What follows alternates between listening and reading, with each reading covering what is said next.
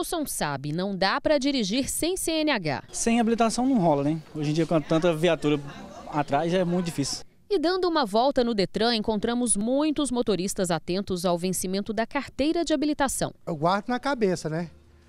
Quando vai vencer, aí quando passa um ano assim, eu olho de novo, fico olhando. Ah, tenho sim. Eu trabalho aqui, né? Então eu tenho sempre que estar renovando. Você nunca teve problema? Não, não. Já renovou várias vezes?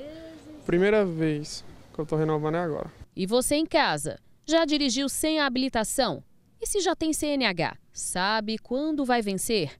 De janeiro a outubro, quase 36 mil motoristas foram flagrados dirigindo sem habilitação em Goiás.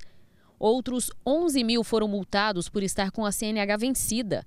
Os números preocupam o Detran, apesar da queda de 12% no número de motoristas que dirigiam sem o documento em relação ao mesmo período do ano passado. É crime, o artigo 309 do Código de Trânsito Brasileiro diz que é crime e a pessoa pode ficar de seis meses a um ano é, em regime de detenção. No último domingo, uma jovem de 18 anos dirigia sem carteira e causou um acidente, deixando seis feridos. Ela furou o sinal vermelho e bateu em outro carro e admitiu ter bebido antes de pegar o volante. No mesmo dia, uma criança de 11 anos morreu depois de cair da garupa de uma moto na GO 403 em Senador Canedo.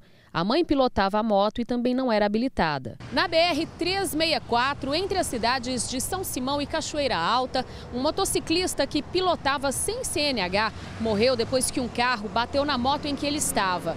O exame do bafômetro confirmou que o motorista do carro estava bêbado e ele deve responder por homicídio culposo quando não há intenção de matar. A SMT diz que reforça as campanhas educativas para conscientizar o motorista da importância de estar com a documentação em dia e, acima de tudo, respeitar as leis de trânsito. Uma multa para uma pessoa que está dirigindo sem carteira, ela chega a 880 reais. A carteira vencida acima de 30 dias é uma multa de R$ 290 e e cinco reais, sete pontos na carteira também. Então, você vê, tudo isso são consequências graves, aliás, gravíssimas, né, no caso.